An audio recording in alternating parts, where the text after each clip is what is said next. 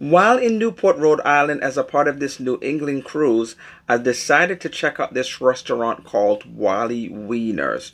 The reason I wanted to check out this restaurant is because it had something on the menu called Rhody Dog. If you saw my video from Seattle, you saw that I had tried a Seattle dog. So not only did I want to try this Rhody dog, I also want to try other things on the menu.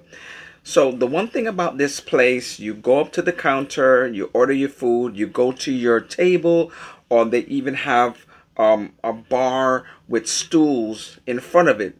Very small, very quaint, but the prices are unbeatable, especially somebody coming from New York.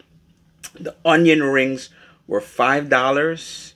The Rhody dog was six fifty, and the Wally dog was also six fifty. Very reasonable. What a reasonable priced lunch. So let me tell you about the Rhody dog. Now, first things first, anytime I review a restaurant, you know I have a scale of 1 to 5.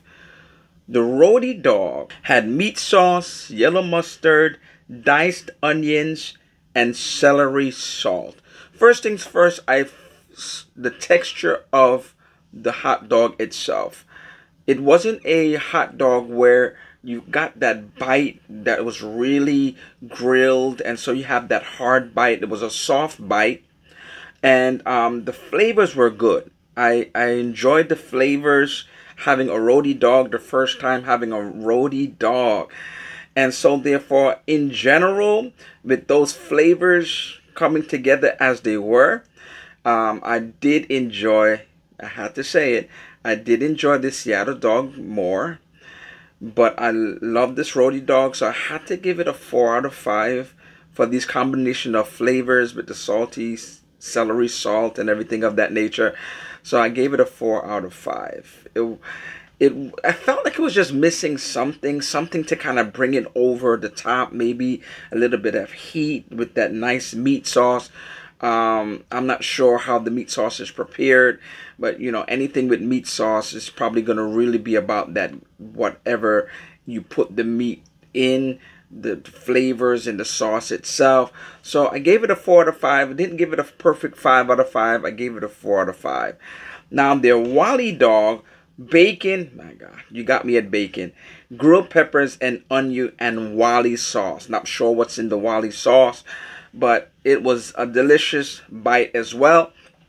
Uh, even, even with the bacon, I felt like it needed a little something. I don't know what it was missing because I didn't want to add any condiments on top of the hot dog. I didn't want to add anything to it. I just wanted to eat it as is. But it was a delicious bite, and so therefore because of that, still four out of five. Loved the onion rings. The onion rings were great. I love the taste of the onion rings. I had to give the onion rings a five out of five. I love the restaurant in general. Um, I definitely would be a place that I would come back to, probably try different hot dogs, try different sides. But I really think that it's a place if you if you would like to have an inexpensive lunch, if you are in Rhode Island and you would like to try a Rhody dog or some other hot dog, they even have hamburgers and different things of the menu that you should check out. Go check out Wally Wieners in Newport, Rhode Island. Can you do me a favor, family? Can you like, comment, subscribe, click on the notification bell to be informed of future posts. And until next time, happy travels.